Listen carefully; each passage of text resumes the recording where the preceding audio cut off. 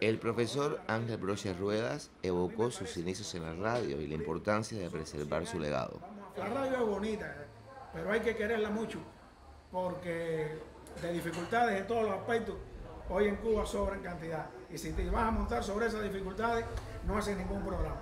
Sencillamente hay que quererla eh, incondicionalmente, eh, sin esperar nada cambio, sino con dentro de las tantas cosas que, Martí escribió, hay una que dice, más que la, que la estimación de los demás, vale la estimación propia.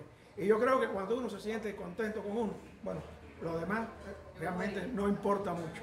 El reconocimiento a los mejores trabajadores por el 101 aniversario de la radio cubana ponderó a la realizadora de sonido ya jubilada, Odalista Aguada.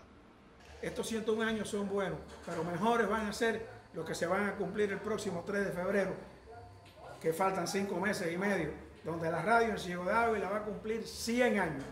Y tenemos que prepararnos para celebrarlo bien, para hacerlo bonito y para que quede una celebración que no se nos olvide nunca, porque ese es un compromiso de los trabajadores de la radio que estamos aquí. El homenaje contó con la participación de los comediantes Manuel León y Roberto Castillo, quienes interpretaron a sus personajes de los abuelos en hilarantes situaciones. Damián Betanzos Hernández, Portal Noticias.